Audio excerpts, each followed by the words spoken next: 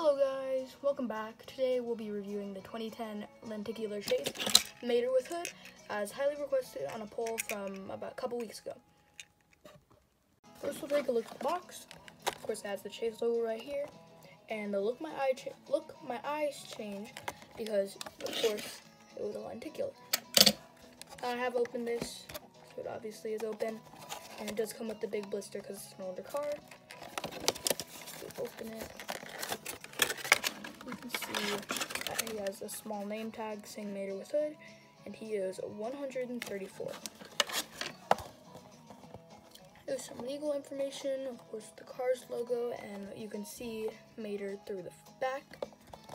Have some artwork that's the same as on the front, just the basic Mater artwork edited onto the blue background, blue city background with the hood on. And that's about it for the box. Now we'll get into reviewing Mater. He has a lifted tow cable, reminiscent of this 2020, um, 2023 on the road diecast. He is all half plastic, just like the older Maters from 2006 through, I'm pretty sure 2018. See is back there. Of course, he has the A113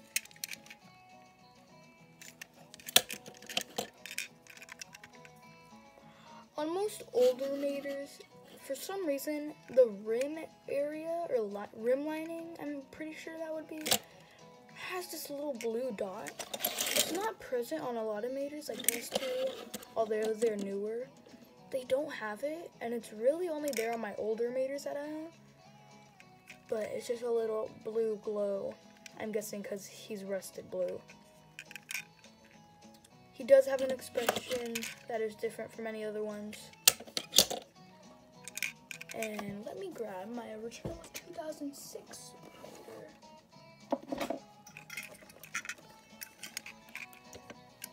So yeah, this Mater has that same blue. The expression is different. Obviously this one's lenticular. So he can look up into the corner down at his hood, just like the scene from the movie. His hood is a rusty blue, a little bit dirty. His chassis is raised, like this one. They probably used the blueprint of this to make this, and brought out another older mater that also has a raised chassis like that. Both of their tow hooks are kind of swung out, which is pretty cool.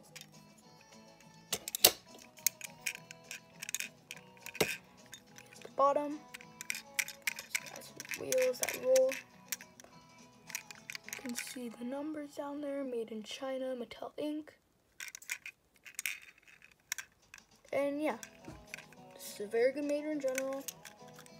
And for a reasonable price too. Most listings, he's 15 to $20. And I suggest getting this guy for your collection if you're a Mater fan. Gas cap right there, his wheels. Now, comparing to the 2006 Mater, since this is an earlier Mater, they didn't really set on that his wheels would be a different color. So his back wheels are just brown on this older Mater compared to newer ones. Move these guys out.